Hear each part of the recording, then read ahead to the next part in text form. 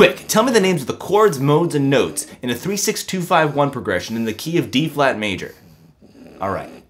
If you answered already, then this video is probably not for you. However, if you have no idea what I'm talking about, or you kind of have an idea of what I'm talking about but want to learn more, or you just want to watch this pug for a little bit, then this video is for you.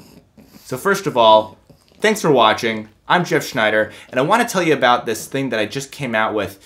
It's a special chord chart, a special scale chord mode, chord function. It's kind of like a general music theory chart that just has all the information laid out very clearly it's just a great way to learn and understand how chords work together, how scales work together, how modes work. Uh, usually it's just something I keep for my private students, but because it's, it's so useful and a lot of my other videos are very theory dense, I think it'd be great for you guys to check this out so you can catch up on some music theory if you're feeling a little bit behind. Oh, Maybelline, you're not in the you're not in the video here. Ugh. Okay.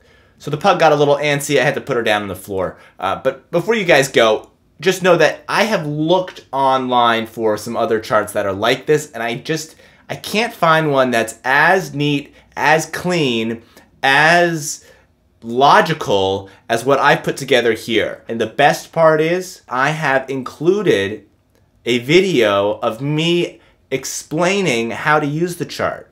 So you will have no questions after taking a look through what's uh, what's offered here. Anyway, I hope you guys check it out.